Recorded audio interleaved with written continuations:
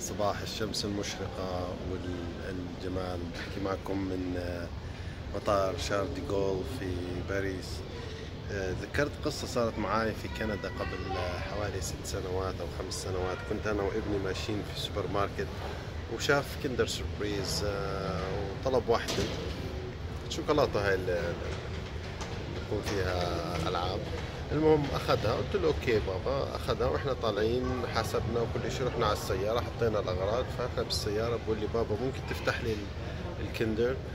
طلعت عليه قلت له بابا إحنا شكلنا ما دفعنا عنها فدخلت طلعت على الشكل على ال receipt اللي معي لقيت إنه إحنا فعلا مش دافعين. فقلت له لا حرام بابا ولازم نرجع وهذه ما بصير إحنا نأكل شغلة مش إلنا فقال لي فعلا رجعت أنا وياه على السوبر ماركت بحكي مع الكاشير تقول لي معلش أنت لازم تعمل line up مرة ثانية. قلت لها هاي أنا ما دفعت عنها بدي أدفع مرة ثانية.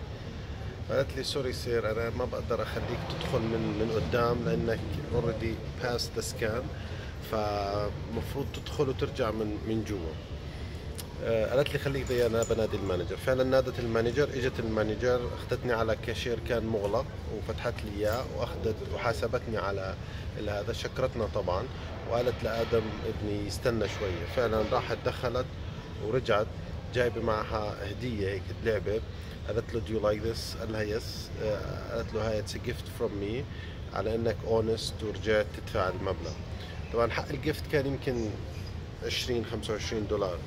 فاستغربت من من ال manager. قلت لها لا سوري وي كانت اكسبت إحنا هذه our duty إنه to come back and report فاجت طلعت علي هيك قالت لي our duty also to encourage our future kids to be honest فعلا التربية ليست فقط من الأهل بل من المجتمع كامل.